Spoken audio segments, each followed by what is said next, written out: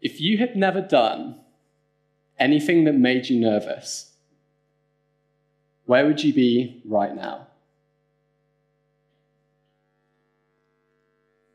Most of us would have never have gone to school.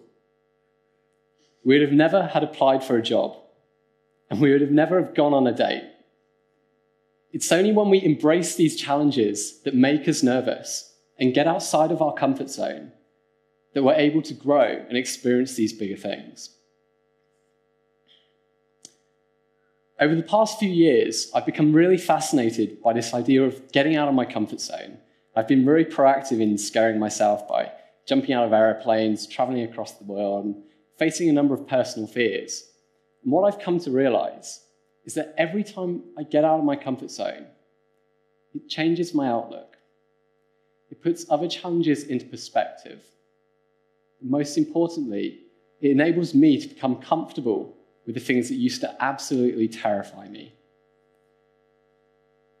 And so, the more that I've come to see the benefit of getting outside of my comfort zone, the more passionate I've become about encouraging others to do the same.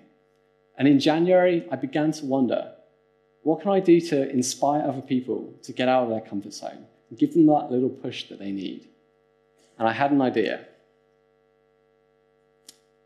I wanted to show people a visual representation of what their comfort zone looks like right now and what it could be and what that would mean for them, in the hope that by seeing the difference between the two, they'd be motivated towards that goal by doing things that are outside of their comfort zone. Unfortunately for me, there was no metric or device for measuring comfort zones. So I began to question what if you could measure your comfort zone? When we talk about comfort zones, we're referring to a form of mental conditioning that we all experience that creates these artificial mental boundaries that determine what we believe we can and can't do. So, if we were to measure someone's comfort zone, we'd need to identify what that person believes they can and can't do. And not just whether they're prepared to go skydiving or bungee jumping, but also factoring in the professional and general life challenges that we all experience. So I found a way to do this, and I developed an algorithm for measuring comfort zones, which has since been confirmed as scientifically valid by a registered psychologist at Deakin University. I put this algorithm into a tool for anyone to use. And within the first few months, over 10,000 people had measured their comfort zone. This meant that 10,000 people had spent a fraction of their day thinking about getting outside of their comfort zone. Now, I believe that every action begins in the form of an idea. And if 10,000 people had just absorbed this idea of getting out of their comfort zone, that could be the start of some amazing actions for those people. It also meant that I now had data. I had this huge database containing everyone's scores and information on all the different challenges they believe they can and can't do. So I was able to begin looking for insights and trends. I found that on average, males had a larger comfort zone than females. I found that our comfort zone changes as we get older. It can either shrink or grow, depending on how much we challenge ourselves over a lifetime. Perhaps the most interesting thing I found was that there was a positive correlation between how much we get out of our comfort zone and how much money we earn.